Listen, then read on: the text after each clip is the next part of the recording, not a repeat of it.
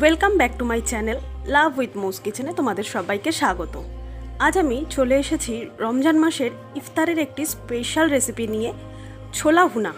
কীভাবে? সিম্পলভাবে অতি সহজেই এই ছোলা ভুনা তৈরি করব। আজকের ভিডিওতে আমি তোমাদের দেখিয়ে দেবো। তার জন্য কিন্তু পুরো ভিডিওটা তোমাদের দেখতে হবে। আর এইভাবে রান্না করলে কিন্তু ঘরের প্রত্যেকটি মানুষই মনে করবে এর মধ্যে কোনো মাটন কিমা বা চিকেন কিমা দেওয়া রয়েছে। আসলে না, কিছুই কিন্তু এর মধ্যে নেই। তাতেও কিন্তু এর স্বাদ পুরোটাই মাংসের কিমা দিলে যে ধরনের স্বাদ হয়, সেই রকমই হবে। এইভাবে রান্না করে ঘরের প্রত্যেকটি মানুষকে চমকে দেওয়ার জন্য আজকের এই রেসিপিটি। চলো তাহলে দেখে নাও কীভাবে আমি আজকের এই রেসিপিটি তৈরি করছি। এর জন্য নিয়ে নিয়েছি এক কাপ পরিমাণ ছোলা। ছোলাটাকে ছ থেকে সাত ঘণ্টা নর্মাল জলে ভিজিয়ে রেখে ভালোভাবে পরিষ্কার করে ধুয়ে নিয়ে এবার আমি ছোলাটাকে সেদ্ধ করে নেব। এর জন্য আমি একটি প্রেশার কুকারের মধ্যে ছোলাটাকে দিয়ে দিচ্ছি। সম্পূর্ণ ছোলাটা দিয়ে এখানে আমি দিয়ে দিচ্ছি দু কাপ পরিমাণ জল। ছোলাটার ডাবল এখানে জল দিতে হবে সেদ্ধর জন্য, তাতে একদম পারফেক্টভাবে ছোলাটা সেদ্ধ হবে। দিয়ে দেবো এক চামচ পরিমাণ লবণ।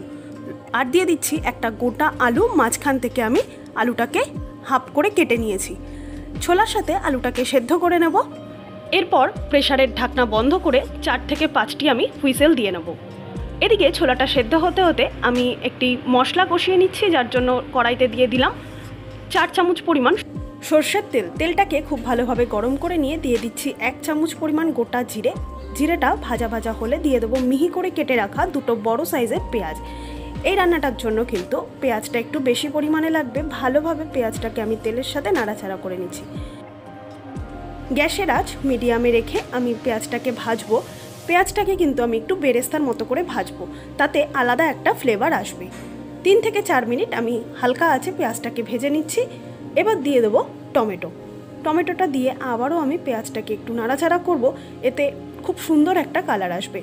টমেটোটাও গলে যাবে আর পেঁয়াজেরও কিন্তু খুব সুন্দর একটা লাল রং সহজেই চলে আসবে।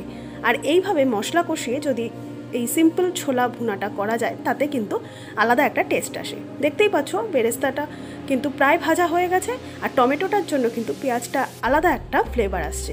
দিয়ে দেবো হাফ চামচ পরিমাণ গ্রেট করে রাখা আদা, আর এক চামচ পরিমাণ দিয়ে দিচ্ছি দু চামচ পরিমাণ পেঁয়াজ বাটা। এখানে আমার পেঁয়াজ আর রসুন বাটাটা কিন্তু ডিপ ফ্রিজে স্টোর করা, তাই দেখলে বুঝতেই পারবে, এটা কিন্তু শক্ত হয়ে রয়েছে।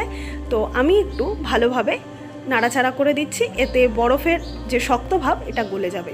ভালোভাবে পেঁয়াজ, আদা, রসুন, টমেটো আর পেঁয়াজ কুচিটা ভালোভাবে মিশিয়ে নাড়াচাড়া করে কষিয়ে নেব।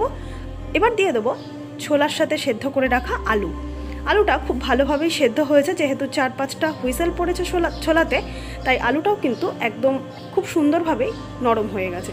আলুটাকে একটা হাতার পিছন দিয়ে আমি ভালোভাবে ছোলার মশলার সাথে গেলে দিচ্ছি তাতে খুব সুন্দর একটা আলাদা ফ্লেভার আলুটাকে দিয়ে মশলাটাকে ভালোভাবে কষিয়ে নিচ্ছি। এরপর দিয়ে দেবো বেশ কিছু গুঁড়ো মশলা। দিয়ে দিলাম প্রথমেই হলুদ গুঁড়ো। দিয়ে দিচ্ছি পরিমাণ মতো লঙ্কার গুঁড়ো। এখানে তোমরা তোমাদের পছন্দ মতো লঙ্কার গুঁড়ো ব্যবহার করবে। দিয়ে দিচ্ছি এক চামচ পরিমাণ জিরের গুঁড়ো।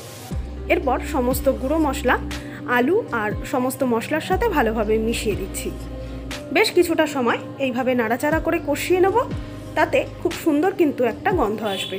দিয়ে দিচ্ছি এবার সেদ্ধ করে রাখা ছোলা। সম্পূর্ণ ছোলাটাকে আমি জল শুদ্ধই দিয়ে দিলাম। যেহেতু আমি গুঁড়ো মশলা দিয়েছিলাম, তখন আমি কোনো জল ব্যবহার করিনি, তাই ছোলার সেদ্ধর জলটাই কিন্তু আমি দিয়ে দিচ্ছি। আর প্রত্যেকেই জানো, ছোলাটা কিন্তু ভীষণই হাই প্রোটিন তাই ছোলা সেদ্ধর জলটা আমি কিন্তু এখানে ফেললাম না। ছোলাটা দিয়ে খুব ভালোভাবে নাড়াচাড়া করে দেবো। এবার বেশ কিছুটা সময়, দশ থেকে পনেরো মিনিট আমি মশলাটাকে দিয়ে জলটাকে টানিয়ে নেব আর ভালোভাবে কষিয়ে নেব।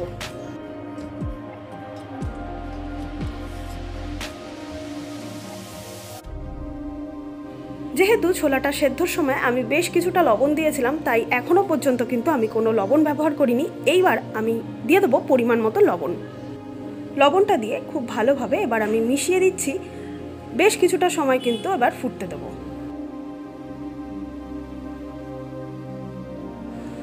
পাঁচ থেকে সাত মিনিট বাদে ফিরে আসলাম। দেখতেই পাচ্ছ জল কিন্তু পুরোটাই শুকিয়ে গেছে। এবার দিয়ে দেবো ওপর থেকে বেশ কিছুটা পরিমাণ ধনে পাতা কুচি। আর বেশ শুকনো শুকনোই হয়েছে, দেখতেই পাচ্ছ। তো এবার আমি ভালোভাবে ধনে পাতাটার সাথে মিশিয়ে দিচ্ছি। দিয়ে দেবো এক চামচ পরিমাণ গরম মশলা। এখানে কিন্তু আমি সিম্পল গরম মশলা ব্যবহার করিনি। বিরিয়ানির জন্য যে গরম মশলাটা তৈরি করা থাকে আমার সব সময় ঘরে, তো সেই বিরিয়ানির মশলাটাই আমি দিয়েছি। আর এটার জন্যই কিন্তু এর টেস্ট পুরোটাই বদলে যাবে। খেলে মনে হবে যেন সম্পূর্ণ মাংস দিয়ে এটা তৈরি করা হয়েছে। তৈরি হয়ে গেছে সিম্পল ছোলা ভুনা। রেসিপিটি কেমন লাগল? অবশ্যই আমাকে কমেন্ট বক্সে জানাবে। ধন্যবাদ।